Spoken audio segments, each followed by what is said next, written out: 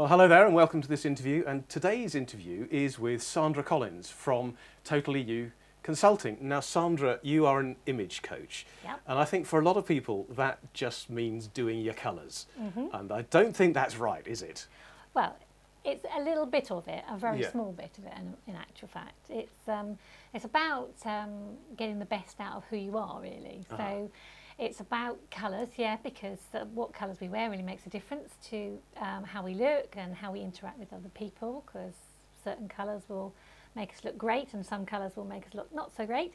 Um, and that's the colour part of it, but it's about choosing things to wear that really suit you and suit your own personality and give you a little bit of something that's different from perhaps from your neighbour or you know, your best friend or something, something that's uniquely you. Oh. Um, and also, I, you know, once we've done all that, it's, all- it's, it's possibly sorting your wardrobe out, getting you, all your clothes so you can just choose what you want and, you know, get up in the morning and, and be really easy to choose an outfit. Um, and if you really want me to go shopping with you, it's hard work, but I'm very prepared to do that. It's, um, it's a great way of learning how to choose new things for yourself. So it's much more than, than just Mm. learning to wear the right colours. By the sound of it, it's much. It's more about how how a person dresses can bring out their personality and support their personality. And Absolutely. Um, I always say, you know, if you've if you've got two people and one person's um, a much more private person, you know, sort of uh, quite a bit quieter, um, and they're um, putting some really bright, vibrant colours on, and people are going to approach that person as a very outgoing person. and um, and that might be uncomfortable for that individual. Um, and vice versa, if you've got somebody who's really outgoing and they're wearing something very subdued, just black or you know a very subdued colour, people are going to perhaps approach them in a very serious way. So how you dress makes so much difference to the way people interact with you and how confident you feel about yourself.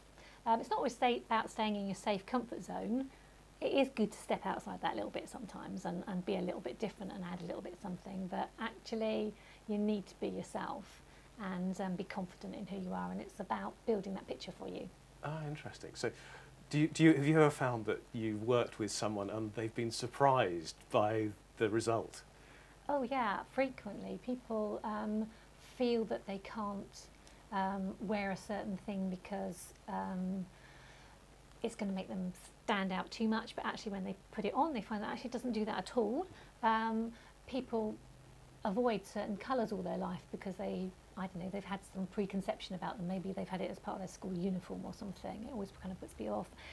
But when you find the right style in the right colour, um, people are quite often amazed at um, you know sort of the difference it makes to them and, and, and the styles that suit their body shape. You know, again, it can make a huge difference to um, how you look. And, and I imagine that can make a, a huge difference to someone's self-confidence. Oh yes, absolutely. If you look good, you feel good.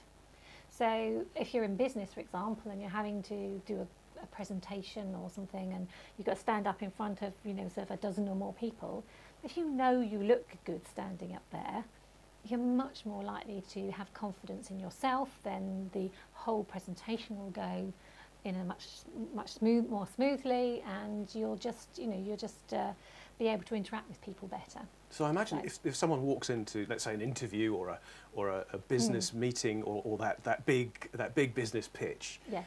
and they walk in and they, it, it just looks like their personality matches what they're wearing, which matches how they're how they're walking.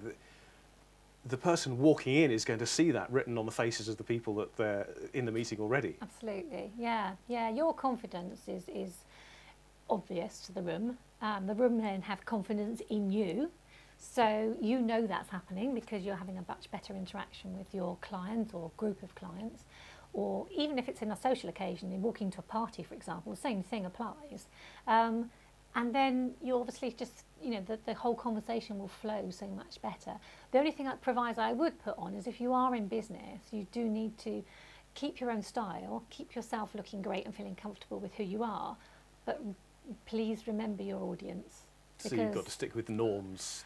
To a degree. To a degree, Yeah, yeah. Within the expectations of that Ah. client or that, that group of people, and adding your own little quirky style on the side is, is great too.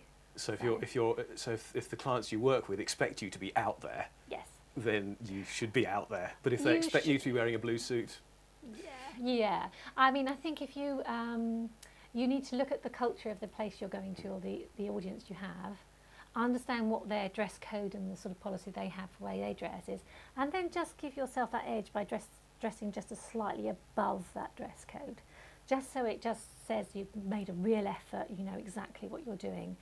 But you know, if, if you are a quiet person, you don't have to go the whole hog and be really really out there, but just mm. add something which says, I'm acknowledging that you're a marketing agency or I'm acknowledging that you're a media company and so I need to be perhaps a little bit more quirky, for example. And presumably if you're a really quirky person, you don't need to go the, the whole of the other oh, way. Absolutely, yes. You, you can go over the top. If you keep your own style, as I say, keep your own personality, but you sometimes some people need to tame it down just Yeah. a little bit. But So this is not just about this is not just about looking and feeling good, is it? This is the, the from what you're saying. There's a, a real business and a social benefit to, to Oh doing this. It can Yes, yeah. It does make so much difference. You know, your audience are expecting certain things. If you're a, I don't know, if you're a landscape gardener and you're going to tender for something, then it doesn't make sense that you wear a suit Mm. because it looks like you're a salesman and not a landscape gardener. And if you're a landscape gardener, you wear a great, clean, nice, clean pair of perhaps cargo trousers even, and a, shirt with a logo on or something. That will tell you exactly what you do and it makes sense for what you're trying to pitch as far as your business is concerned. So, yeah, be appropriate for whatever audience you've got because it makes a lot of difference. Yeah, yeah. Now I think you rem- I remember you saying to me that you're you're not just an image consultant. You're you're actually you're actually a very experienced coach as well. Yeah. So you're used to to doing more than just changing the way people dress. You're also used to working with the the, the confidence. Uh, and and and sort of lifestyle issues that, that, Sure. that go along with Mm. presenting so, with someone presenting themselves as Yeah, yeah.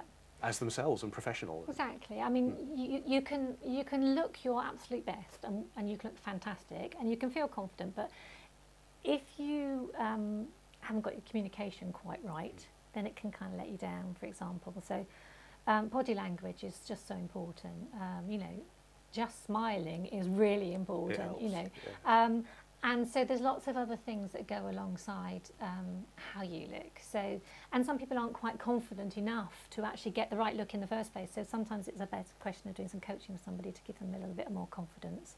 So someone Um, might need actually actually coaching to be confident enough to wear the clothes Absolutely, that, yeah, that yeah. they It- need to be wearing yeah. to look. And people start from all, all different points around the circle, and Mm. it just having the coaching background really helps me to be able to get to know somebody, understand their personality, help them to bring out the strengths that they have, um, and get the whole person and the whole picture working really well. As I say, whether it's for business or whether it's for um, you know somebody perhaps going back onto the social scene, and because after a number of years, because their circumstances have changed, so it works for both avenues. So really. it's a very powerful combination you're bringing, and it's very powerful in any pretty much any. Sure. Yeah. any and you- yeah. And I, and I and I believe I'm right in saying that you work with with individuals, with small people running their own businesses, and and with and you you work inside corporate corporate clients as well. Yeah, yeah, yeah. Mm. I mean, so individuals will be sometimes people just wanting to change their look or just do something different. As I say, maybe their circumstances have changed, or maybe they've reached a significant birthday or something like that, which we all do. Um, yes, I'm looking forward to 21 myself. oh, good. Yes, me yeah. too again.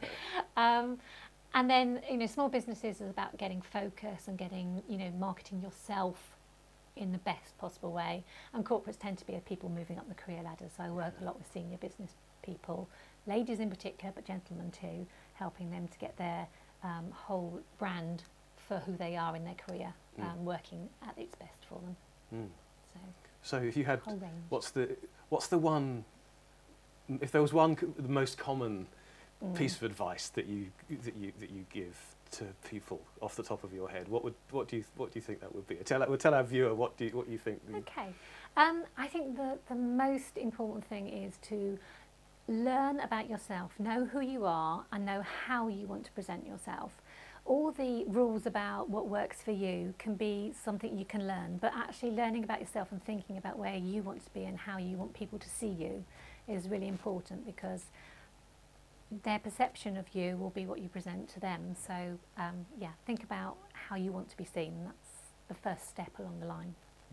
Very important message, I Yeah. think. And if, uh, if someone wants to know more, I guess they, they can give you a call. Absolutely, I'd be very happy to talk to them, eh, just informally Yeah. or, or um, you know, sort of. Okay, uh, well, if you'd like to tell them the, tell them the phone number. And, Okay, um, if you'd like to give me a call, um, my number is 07742 445 243, or you can just drop me an email at totallyu at live.co.uk, and I'd love to speak to you. Great. Sandra, thank you so much. And when we finished, you, you better tell me whether I'm wearing the right colour shirt or not. you look great. thank you very much. Thank you, Okay, Sandra. thanks, Jim. Thanks. Thanks for watching, and we'll see you next time. That's it. Bye for now.